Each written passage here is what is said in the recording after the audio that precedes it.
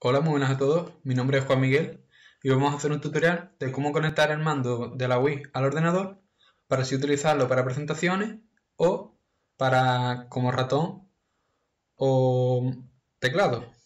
¿Vale? Para ello tendremos que descargar una aplicación que se llama WinRemote. Aquí está descargada. Y para descargarla pues tendré que ir a la descripción donde he dejado un enlace que si lo clicáis Ya lo tendremos aquí, le tendremos que dar a descargar. Se descargaría. Y la pasamos al escritorio. Hacemos así y la pasamos. Como lo tengo ahí, no lo voy a pasar. Si no lo encontráis aquí, tendré que ir a la carpeta de descarga. Cerramos esto, lo minimizamos y le damos a WinRemote, le damos a extraer aquí.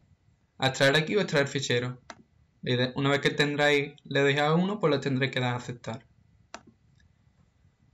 El siguiente paso sería conectar el mando de la Wii.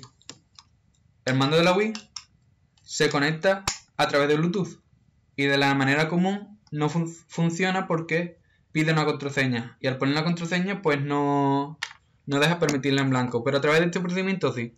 Le pondríamos panel de control le daríamos a este le daríamos a ver dispositivos e impresoras, donde está hardware y sonido. Le daríamos a agregar un dispositivo y ahí ya aparecerá, lo aparecerá en un instante. Lo, ahora lo muestro. Hago el debido a que la cámara está conectada por internet, por wifi, entonces al ponerla se desconecta. Así que Ahora lo vemos. Continuamos donde lo dejamos antes, ¿vale? Le damos agregar un dispositivo. Y con el mando le damos al 1 y al 2.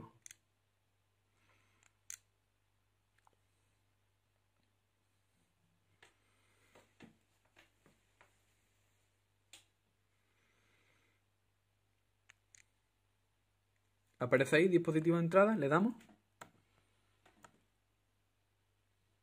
nos pide una contraseña, no le ponemos nada. Le damos al siguiente. Y ya lo tendríamos conectado. Aunque aparezca que esté parpadeando, lo tenemos. Me voy a ir ya al ordenador para que lo veáis. Pues vamos, vamos a continuar con, con el tutorial. Ya una vez que tengamos el mando conectado, pues tendremos que ir a WinRemote. Le daremos aquí y le daremos a este, a WinRemote. Ya veríamos que el mando nos detecta el mando. Los pasos que tendríamos que hacer sería calibrar el sensor de movimiento. Lo moveríamos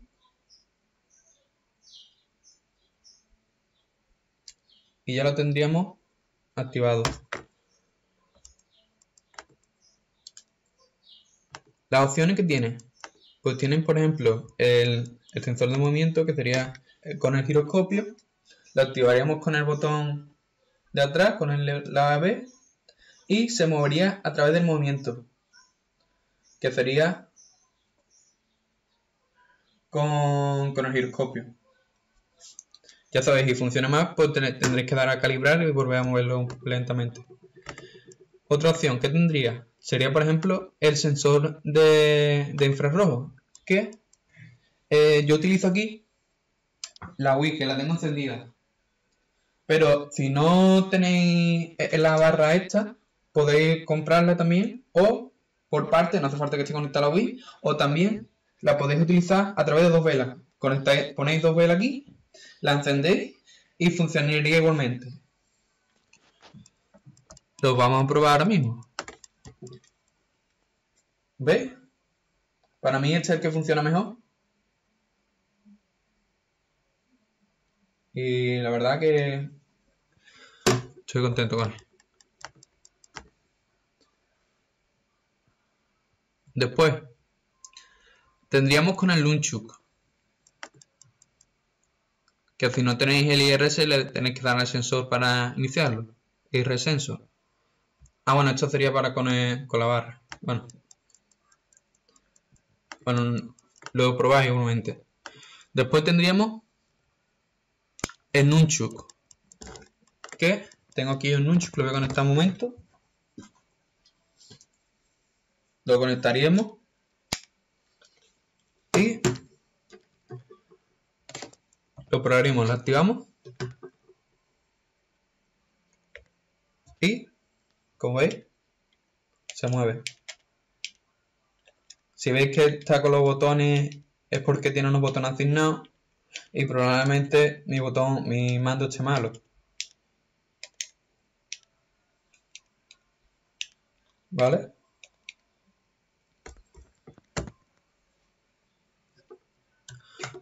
Para desactivarlo siempre con la... Es siempre con la B. Activarlo y desactivarlo. La preferencia. Tendríamos aquí los botones del mando de la Wii.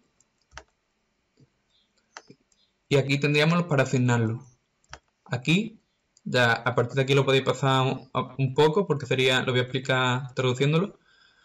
El teclado para encender, apagar o, bajar, o encender el botón, cursor encenderlo, tiene también velocidad, también el, mouse para darle el cursor hacia arriba, para abajo, para mover el, ratón, ¿vale? Tendríamos aquí el mouse para darle a cómo funciona con un ratón como left click, como clic izquierdo, doble clic izquierdo, clic derecho, doble clic derecho, la ruedecita, darle clic en, medio, darle dos veces a la, de en medio. Mover el ratón hacia arriba, mover el ratón hacia abajo, asignándole el botón al que queramos.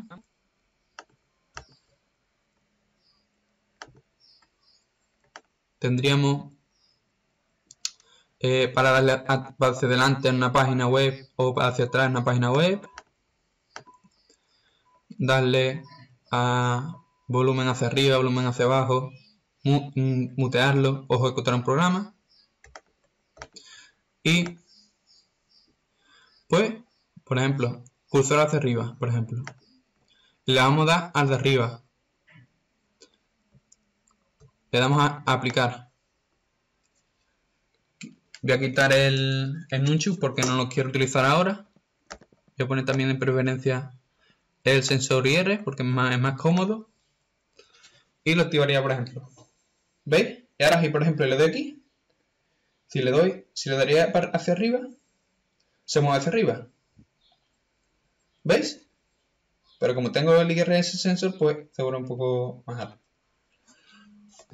Se vuelve a, donde estaba. Lo desactivaría un momento. Y más o menos lo que vendría aquí. Pues sería para invertir la horizontal a vertical en el, sensor de movimiento, para la velocidad, también para cuando presionamos el motor que más lento, más rápido, recalibrarlo con el hecho que creo que no funciona, bueno, recalibrar el cursor cada vez que lo encienda y lo apague.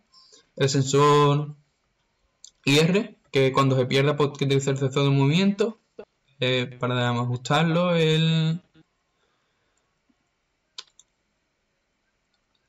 la, la, para ajustar al final de como hasta dónde puede abarcar, como si fuéramos, un cuadrado aquí, por ejemplo, pues sería lo que podría abarcar el analog, el stick analog del nunchuk, pues la velocidad, invertir la horizontal y demás. Esto sería para minimizarlo al empezar, eh, escribir una gráfica que sería la de lo, que viste aquí antes, eh, vibrar en la esquina, en, los bordes y analizar cursor, encender cursor al, encender la, la aplicación. Y eso sería todo. Vale, que no me veo un momento.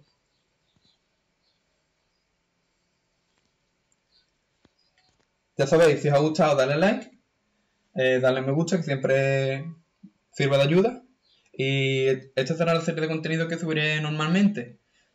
Aunque también tengo preparado aún más, contenido que puede quizás algo diferente. Ya sabéis, suscribiros, darle like y hasta luego, chavales.